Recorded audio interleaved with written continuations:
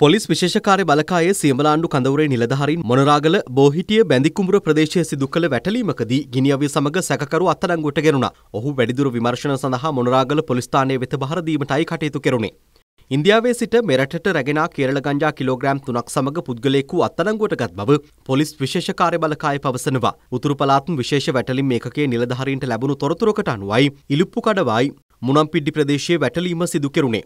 කලවංචිකුඩි police වසමේ කළුදාවලි ප්‍රදේශයේදී සැමියා සිදු කළ පහරදීමකින් බිරිඳ මිය ගොස් තිබෙනවා. හතලිස් පස් හැවරදී එම කාන්තාවගේ සිරුර වැඩිදුර විමර්ශන සඳහා මඩකලපු රෝහලේ මෘත ශරිරාගාරය වෙත රැගෙන යාමටයි කටයුතු කර ඇත්තේ. සැකකාර සැමියා ප්‍රදේශයෙන් පලා ගොස් ඇති අතර ඔහු සොයා මෙහෙයුම් ක්‍රියාත්මකයි.